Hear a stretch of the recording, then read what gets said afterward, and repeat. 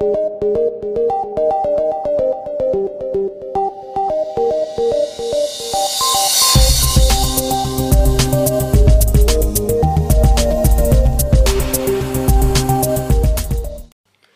back everybody to NetApp training on N90X. In the last video I showed you how to delete or destroy your volumes and your aggregates. But in this video I want to show you how you create them. So it was very simple. You just go to your Data ONTAP GUI, click on your FilerView.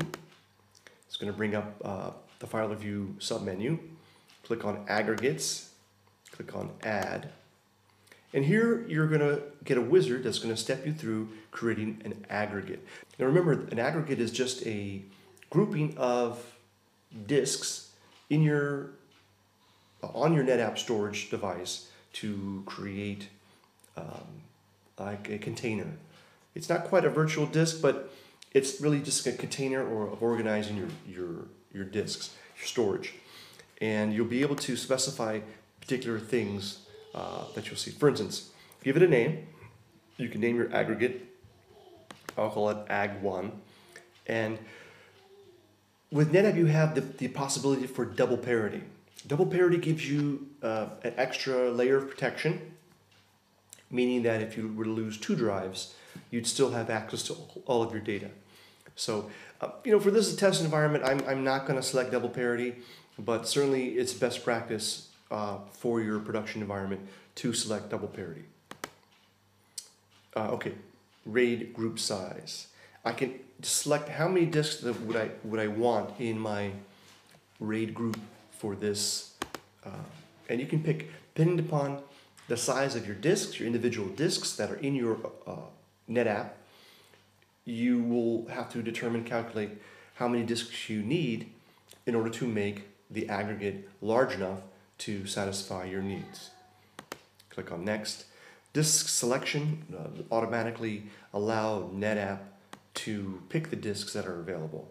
The disk type, uh, any type. I don't have uh, I have any type or fiber channel.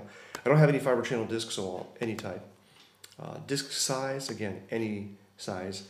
In, in, this particular case, all of my disks are 120 meg. I know it's really small, but again, this is just a simulator, and I've created this as a very small uh, environment just for testing purposes and for showing you for training purposes.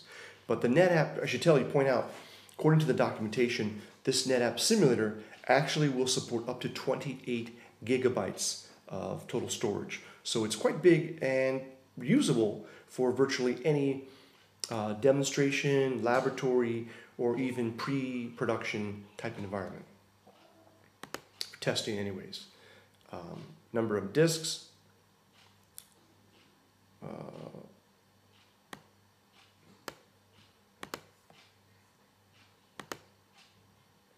okay, so uh, RAID group size is 8, number of disks is 2. Uh, here's all the information that I've uh, selected. I'm going to commit, and it's going to create my aggregate. I'm Going to close it. Now if I look at my aggregates, manage, you can see what I've created. What did I create here? I created a aggregate with 85 megabytes. So that's how you create aggregates. On the next video, I will show you how to create volumes. From all of us here at N90X, I'm Joe Moses, and I hope to see you right back here on this channel for the next video.